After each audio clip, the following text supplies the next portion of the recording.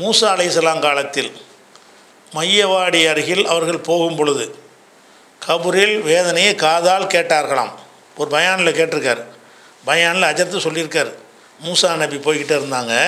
அப்போ கபூரில் வேதனை செய்யப்படுறது அவருக்கு கேட்டுச்சான் மூசா நபி இப்படி போயிட்டாங்களாம். மொத்தமாக வாசிக்காமல் கருத்தை சொல்லிடுறேன். திரும்பி வந்தாங்களாம். திரும்பி வந்தால் அந்த கபூரில் வந்து வேதனை இல்லாமல் இருந்துச்சான் காரணம் என்னென்னு கேட்டால் அந்த கபூரில் இருக்கிற ஆளுடைய பிள்ளைகள் வந்து தகப்பனாருக்கா துவா செஞ்சுட்டாங்களாம் அதுக்கு இடையில.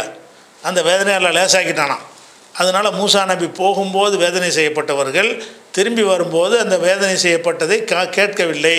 ஏன் கேட்கவில்லைன்னு அவங்க என்ன விளக்குறாங்கன்னு கேட்டால் நான் போகும்போது வேதனை செய்யப்பட்டாங்க. அவருடைய பிள்ளைகள் அல்லாட்ட துவா செஞ்ச காரணத்தினால அல்லாஹ் அதை ஏற்றுக்கொண்டு அந்த வேதனை நீக்கிட்டான். அதனால் திரும்பி வரும்போது வரலன்ற மாதிரி மூசா நபி சொன்னதாக ஒரு பயானில் கேட்டேன்னு சொல்கிறார் இதுக்கு ஆதாரம் உண்டா? அப்படின்னு கேட்குறாரு இதுக்கு ஆதாரம் இது கட்டுக்கதை. நடக்குதா மூசா நபி ஒன்றை சொல்வதாக சொன்னால் யார்கிட்ட சொன்னாங்க? மூசா நபி காலத்தில் மூசா நபி சொன்னது நமக்கு வர்றதா இருந்தால் ரசுல்லா வழியாக தவிர வரலையே வர வர முடியுமா? மூசா நபி வரைக்கும் அறிவிப்பாளர் இருக்குதா?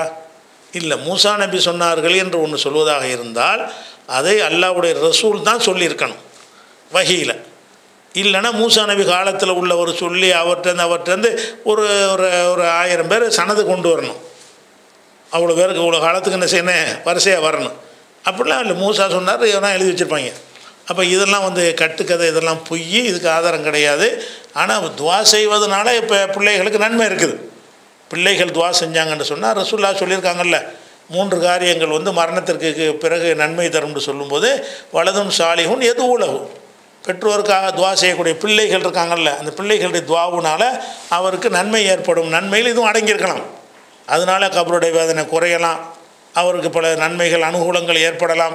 அது பிள்ளைகளுடைய துவாவுனால் கிடைக்கும்னு பொதுவான விஷயம் இருக்கிறது இதை மூசா நபி சம்பவமாக சொல்கிறது தான் தப்பு. மூசா நபி சம்பவமாக சொல்லாமல் பிள்ளைகள் துவா செஞ்சார்கள்னா பெற்றோருக்கு அது பயன் தரும்னு சொன்னால் அந்த கான்செப்டில் தப்பு கிடையாது.